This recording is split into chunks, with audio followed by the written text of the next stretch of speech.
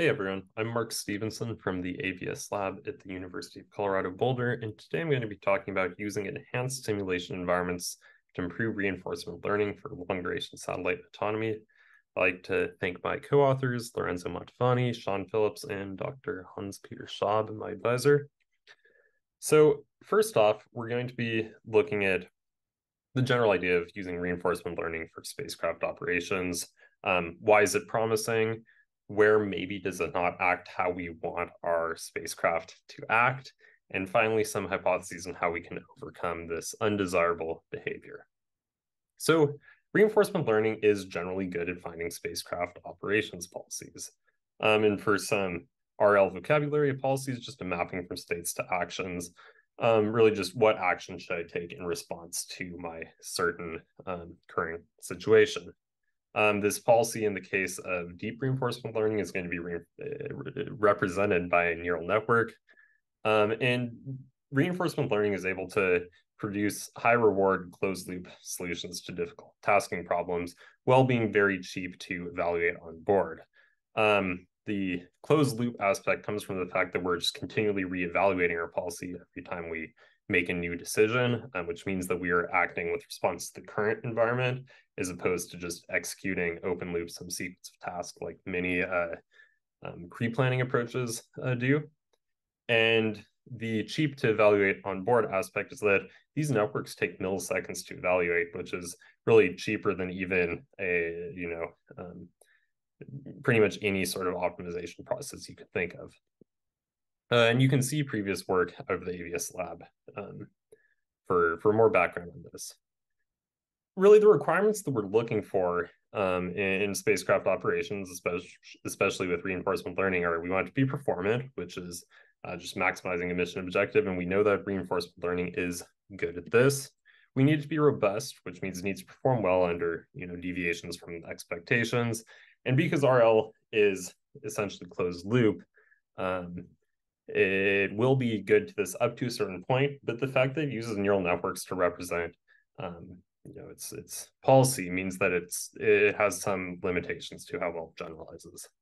Uh, we need these policies to be safe and avoid failures. And other work from the lab has shown that using shielded reinforcement learning can provably um, guarantee safety. And finally, uh, this needs to work for uh, long durations. Uh, all of these need to be maintained over the course of an entire mission. The two main aspects that we're going to be looking at in this work is how to increase the robustness of these policies, as well as applying these policies on long durations, you know, weeks, months, years, decades even. So one thing to think about is that human operators and a reinforcement learning agent are going to approach this, the, the tasking problem very different ways. A human operator is really probably going to prioritize long-term survival above everything else. Um, and in doing so, they're anticipating all the different possible failures or sorts of degradation they could encounter. And as such, they're inherently conservative or even pessimistic about how the spacecraft is going to operate, which is a good thing in this case. Um, we, we don't want to lose our multi-million dollar vehicle. The reinforcement learning agent, on the other hand, um, does not have anxiety about losing its job or losing millions of dollars of hardware. Um, it, it, just sets out to solve the exact problem it's given. So um, since you're going to be opt- you're going to be training it on finite episodes and probably over like a, a reasonable range of conditions, it's going to be optimizing over those uh, situations, which means that it's only going to anticipate failures and faults that are um, built into the simulator and encountered by the agent while um, exploring the environment. Uh, likewise, a, a, human operator knows how a spacecraft works. They have intuition about the system. They know what sorts of faults can be can be triggered um, and how they uh, will come about, and they're going to operate in a way that intuitively uh, minimizes these things. Um, reinforcement learning also is going to minimize, try and minimize the faults that encounters, but it can only learn about these faults by interacting with the um, simulated environment. Um, and if these faults are rare enough, um, it, it, may never find them, even if they are modeled and intuitive to a human. Um, if a safety interaction is only encountered once during the entirety of training, it's probably not going to learn that it should avoid um, reaching that state because just not enough training data to, uh, to, to learn that. So how can we fix this? Our hypothesis is that we can modify the environment to encounter these dangerous states and safety interactions more frequently. And as a result, uh, end up with better performance that's more in line with human designed operations. So there are three things we're going to try. We're going to try using longer episodes, um, which is going to allow the policy to learn or the, the agent to learn long-term consequences of the policy at the expense of fewer episodes, which means we're learning with fewer different initial conditions. We're going to look at a wider initialization for each episode. Um, so in that this case, that means that um, we're going to initialize the satellite in some very unsafe states, like going into eclipse with 1% battery, things that we know are going to lead to failure, but we don't care if we're failing during training. It's, it's going to be a good thing if we fail during training so we can learn about that domain. So um, by increasing that initialization domain, we're going to increase the, the domain of states that the satellite is quickly learning about and quickly learning that it should avoid reaching. Finally, we're going to look into using augmented parameters. So in this case, this means we're going to be training on a worse than worst case scenario, um, like a highly degraded spacecraft, more challenging space environment. Um, and that's really just to induce some amount of pessimism to the agent in the way that uh, humans might be pessimistic about the way that a, uh, a, satellite could operate is a way of just being more cautious, more careful. Um, yeah. So next, we're going to look at our example mission scenario that we're applying these uh, ideas to. It's going to be a simple data scan scanning science environment with some um, resource management. Uh, and then we're going to look at some modifications uh, that we're specifically going to apply to try and improve training in this environment. So the nadir scanning environment uh, has the objective of maximizing data collected from being in a ground pointing nadir scanning mode. Uh, we download, we need to downlink this data when we're over a ground station. And over the course of the mission, we must maintain positive battery levels. We need to prevent our reaction wheels from saturating by occasionally desaturating them. And finally, we can't take new images of the buffers full, so we need to downlink um, data as we uh, reach ground stations. This last one really isn't a hard constraint. Failing or filling your buffer is not going to lead to mission failure, but it is going to prevent you from succeeding more by collecting more data. So the uh, to formalize this as a partially observable Markov decision process, um, we can establish our action space, which we have our charging action, our downlink action, our reaction wheel desaturation action, and our uh, scanning data collection action. Um, we have our observation space, which includes uh, you know relevant quantities all normalized, such as a reaction wheel speed fraction, our um, the level of our battery, our pointing direction, um, our, our data buffer level, as well as information about upcoming ground station opportunities and upcoming eclipse transitions. And this uh, overall framework is something we've used in previous work of this high level action task based um, uh, planning. And that's because we're able to you know provably create stable controllers to do all these tasks. This is something we've been doing for decades now. And instead of having the um, reinforcement learning agent have to learn how to point our solar panels at the sun or how to scan downward we can just have it make those high level decisions while using these um, handcrafted lower level controllers to actually execute the tasks Next, we have a reward function. So we get reward for at each step for the amount that we've increased the data buffer at that step. And this is normalized such that the maximum cumulative reward for an episode is one. Uh, we give the satellite a negative penalty if it reaches a failure state. And finally, anything else, no harm, no foul, uh, you're just not getting any reward. So finally, our transition function we get by just propagating our high fidelity spacecraft simulation, which we'll talk about on the next slide. And then we have our termination conditions. So we have our failure states, which along with which terminate the episode along with giving that negative reward. And that occurs when we saturate our reaction wheels or drain our battery. And then finally, our we also will terminate the episode without a penalty if we operate for some period without failing. In this case, um, kind of taking three episodes as our short training duration and 15 is our long duration. So this environment um, we've implemented using BSK-RL, which is a spacecraft simulation um, environment for reinforcement learning that we've developed. We start with standard gymnasium API for reinforcement learning. We then build a spacecraft simulation environment using Basilisk, which is a fast and flexible spacecraft simulation framework that the AVS lab develops. Um, this uses a C++ backend, Python frontend, so both easy to work with, but also, you know, hundreds to a thousand time um, simulation speeds, which is obviously really helpful for uh, this sort of work. And that gives us BSK-RL, which is a way of easily customizing environments for satellite reinforcement learning um, research. We have a QR code there if you're interested in checking out the repository. Um, this inherits the best of Basilisk and Gymnasium. We get our modularity, we get high fidelity, um, and it's compatible with all of our major uh, reinforcement learning libraries. Open source, so you can download it and play around with these environments yourself. And the main focus right now is Earth observing flight mode tasking, though it's definitely is extendable to other areas of interest.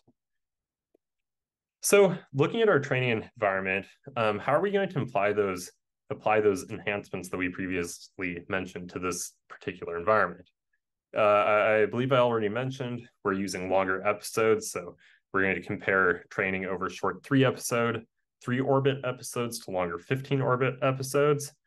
Um, we're going to look at a wider initialization of various parameters. So we're going to look at initializing to a wider range of battery levels that includes nearly no charge, a wider range of data buffer levels, and a wider range of reaction wheel speeds. So really we're putting the satellite potentially in some very undesirable situations and even unrecoverable situations at the start of episodes.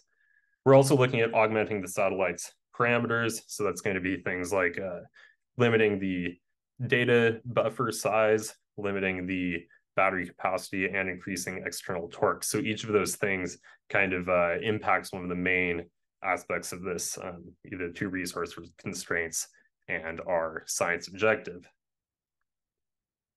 Finally, do these modifications um, actually help performance when, when we train with these various enhancements?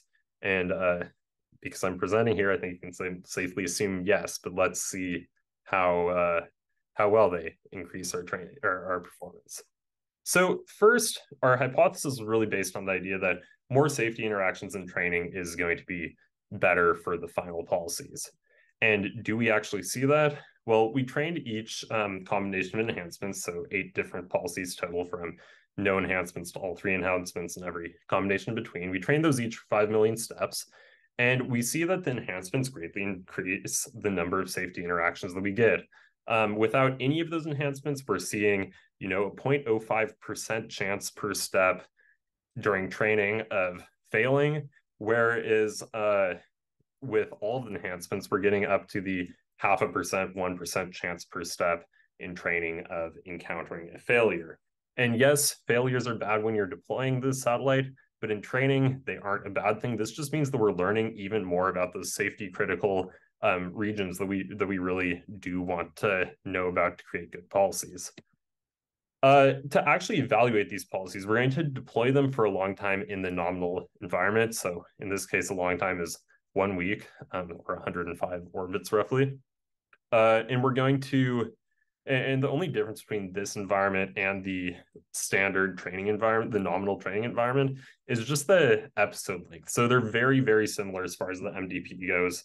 Um, and we're also going to compare these against a basic um, hand design policy and just a random policy that uniformly selects between the actions. So looking at the um, reward accumulation rate, so this is how much how, how much of the time is it spending in our um, imaging mode. We see that our augmented um, parameters especially really increase that record, reward accumulation rate um, as do the other uh, factors such as longer episodes and wider initialization. Um, and we do see more operator-like um, uh, behaviors induced with these enhancements, such as higher battery levels um, over time, which even though that's not inherently necessary for uh, to you know solve this environment if we have some unexpected unmodeled thing that affects our battery level um, you're you're you're you'd rather have a higher battery level than a lower battery level. The same thing goes for data buffer. Um, these enhancements maintain a lower data buffer level than the uh, than the unenhanced environments which is good because you know if you suddenly have something exciting happen or something bad happen to your flight computer you'd rather have that extra space. Finally, even though failures can be handled with um, the use of a shield, a policy that inherently is avoiding these failures is more desirable. Um, it, it means that it's really optimizing, you know, for the for the problem at hand, and not going to be relying on a shield while just doing something else. And in this case, we see that these enhancements greatly decrease both types of failures. So these enhancements have a big imp performance improvement on the nominal environment, which is somewhat surprising um, because really the main goals of these enhancements were to increase robustness and make sure that it, it works better in a, in a long duration or works as good in a long duration, but it actually just increases performance across the board, which is unexpected but good. Next, we also talked about um, the robustness issue. Can our policies continue to work even if our spacecraft is performing in an unexpected way? Um, so to test this, we deploy over that same week-long period, but on a satellite that is degraded. So we have a smaller battery capacity, smaller solar panel efficiency, um, you know, things that will degrade over time on a spacecraft. Um, and we again see that, well, well, the differences in reward accumulation aren't as great. Our enhancements still generally do create policies that are better at accumulating reward on this unexpectedly bad satellite. Uh, the battery level is likewise still held higher. The buffer levels are still held lower. And most excitingly, um, we see that th this robustness comes into play with the amount of failures we see. These enhancements almost nearly or even totally eliminate the uh, failures that we're seeing in the um, in this degraded environment. Whereas the standard policies do a lot worse um, in terms of failures because it's, it's just not an environment they're um, familiar with. And sure, because they are closed loop, we do see relatively decent performance in some cases. Like they, they aren't failing, you know, like the short, narrow standard fails only 10% of the time. Not amazing, not terrible, but that's coming at the expense of reward accumulation. So this the, the idea that these RL policies is closed loop helps, but the enhancements are really what is both keeping reward high and keeping uh, failures low. So in conclusion, these enhancements to the training environment work. They allow us to maintain performance in a degraded environment, and they even improve performance um, when we're deploying for a long time in a nominal environment. Uh, there are some limitations, of course. Uh, one of the main questions that we need to answer better is how much should these environment parameters be augmented? Um, we, we in the paper that too much augmentation can hurt performance eventually just because you're creating a way, way too conservative policy. Um, but we also showed in this, the, the, the slides that certain uh, augmentations can help performance. So there's clearly a sweet spot there or, or better things, ways we can handle these augmentations to really um, maximize how much they're helping performance. So for the future work, then um, the question is how much do we enhance these environments in various ways? What what is necessary to get better performance. Um, I think there's the potential to develop like custom training routines for, uh, you know, actively changing these, uh, the amount of enhancement, um, perhaps using different training and evaluation environments, uh, but obviously beyond the scope of what we've done yet. The other, I think, very interesting question is we saw here we uh, augmented the parameters and induced a particular and induced some more desirable behavior like higher battery or higher battery levels lower buffer levels things like that. But is there a way to go in reverse um, where we can induce operator pre preference using these sorts of um, enhancements or uh, you know added challenges of the training environment? And uh, is kind of an alternative to the idea of like reward function shaping um, that is can be likewise used to induce certain preferences. Uh, anyway, thank you for listening um, to this talk, and please check out our other presentations from SciTech.